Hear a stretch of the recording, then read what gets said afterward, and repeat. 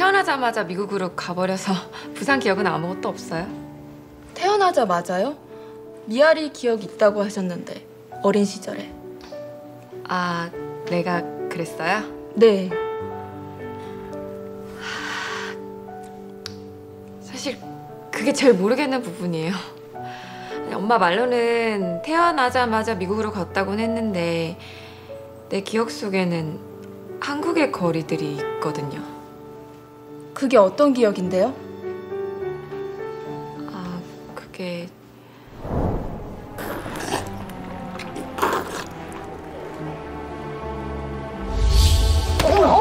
어, 죄송합니다.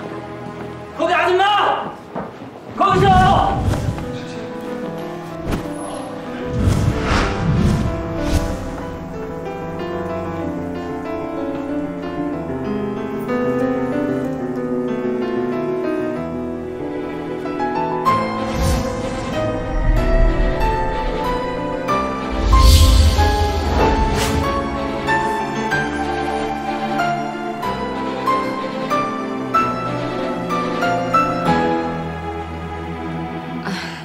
아무튼 그런 게 있어요.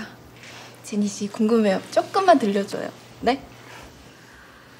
아, 좀 이상한 장면이에요. 불쾌하기도 하고요. 의사 말로는 나를 불안하게 하는 쓸데없는 망상이라고 그렇게 지어주려고 하는데 의사가 지워주려고 했다니 그 정도로 안 좋은 장면이에요? 그 의사분은 누군가요? 지금 이게 다 무슨 소리야? 인터뷰한다는 핑계로 쓸데없이 사생활이나 캐묻고 엄마 상관하지 말아줄래? 내가 이경이 나고 있다길래 이래서 와봤다. 조금이라도 거슬리는 게 있다면 책 내는 거 다 취소해버릴 거야. 내 손님이야. 무리하게 끼어들어서 이러지지 마. 암튼 경고야. 일 얘기 말곤 사적인 얘기 묻지도 말아줘. 알겠어? 네.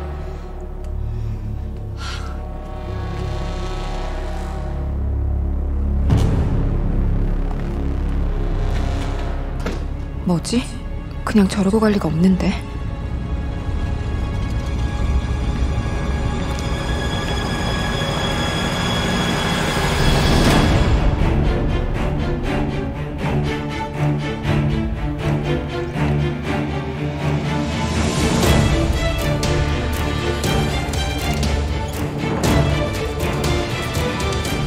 녹음기? 또 시작이네. 엄마, 이젠 바보같이 당하고 있지만 않을 거야.